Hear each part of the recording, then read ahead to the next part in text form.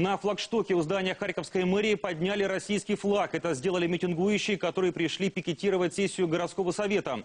Мэр Харькова Геннадий Кернес распорядился убрать знамя и даже сам пытался это сделать, но толпа его не пустила. Как все было и висит ли флаг до сих пор, расскажет Лидия Калинина.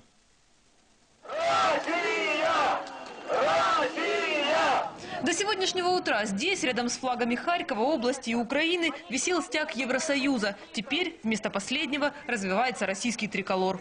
Может нам только Россия помочь. Его повесили митингующие с лозунгами в поддержку России и крымчан. У нас русскоязычный город. Русскоязычный город. Мы бы были на той стороне Майдана, если бы не было как минимум двух вещей. Первое, чтобы не возглавляли это, этих лидеров националисты. И второе, чтобы эта революция действительно была мирная. Мэру Харькова о том, что перед его окнами появился флаг другого государства, сообщают во время сессии горсовета. Снимать его Геннадий Кернес отправляет своего зама, которому от толпы приходится спасаться бегством. Кернес выходит решать вопрос лично. Отойдите все отсюда. Отойдите все, я сказал.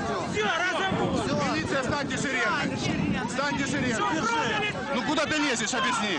Еще два дня назад эти же люди встречали его овациями у памятника Ленину, который вышел защищать мэр. Теперь он для многих предатель. То, что здесь происходит, я против таких действий. И я считаю, что все должны успокоиться. Мэр уходит в горсовет продолжать заседание сессии. Толпа не расходится. Митингующие приносят флаг УПА и сжигают его прямо на пороге мэрии. Мы его сожгли, мы его растоптали. И так, ка- такова позиция большинства харьковчан, большинства Юго-Востока. Отдышавшись, Геннадий Кернес заверяет журналистов, флаг снимут, но только когда люди разойдутся. Разгонять их не будут. Никто не будет его палить, никто не будет его разрывать, никто не будет его уничтожать.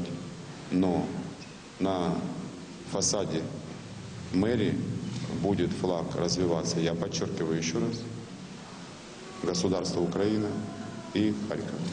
Ждать долго не пришлось. Чиновникам удалось договориться с протестующими. Российский флаг все-таки сняли. Лидия Калинина, Александр Яновский, телеканал Интер, Харьков.